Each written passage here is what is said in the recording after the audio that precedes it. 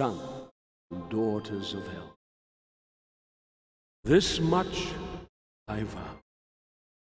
The history of these days will be written in blood. By crushing the armies of our enemy, by seizing the weapons they thought to turn against us, we were fighting for our very existence. But if there are those who would deny us peace, refuse us our rightful place in the universe, then we will unleash such terrible vengeance that generations yet unborn will cry out in anguish. A spokesman for ISA High Command had this to say on Visari's latest outburst. The dictator Visari plays a martyr while threatening the peace of the universe. Listen to this shit makes me want to break something. Ever the diplomat, Rico. Yeah. Colonel Templar. I'm off the field this time. So I'm looking to you and Sev to get it done. You know we're on it. Good luck, Sergeant. Sir. The ISA also confirmed that Rico. the second wave of the invasion fleet is due to launch imminently. They will arrive in orbit over the Helghan capital in approximately two weeks, by which time Fleet Commander Templar expects the first wave of the assault force to have dealt decisive blows against Visari's forces. I'm sure we all wish our brave men and women good luck and Godspeed.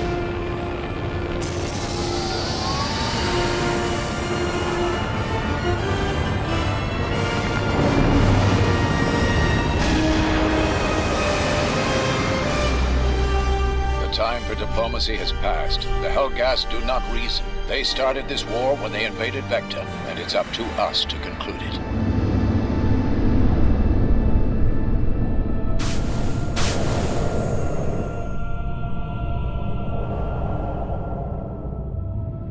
The enemy may shatter our bodies, but they cannot break our spirit.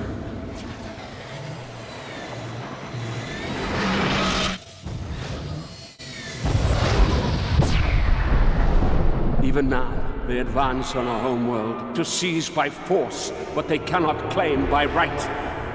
They cannot imagine what awaits them. We will smite the invaders from our skies!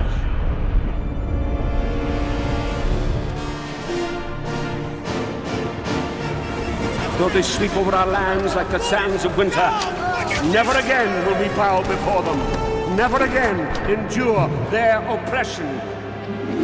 Never again endure their tyranny. We will strike without warning and without mercy, fighting as one hand, one heart, one soul. We will shatter their dreams and haunt their nightmares, drenching our ancestors' graves with their blood. And as our last breath tears at their lungs, as we rise again from the ruins of our cities, they will know Helghan belongs to the Helghast.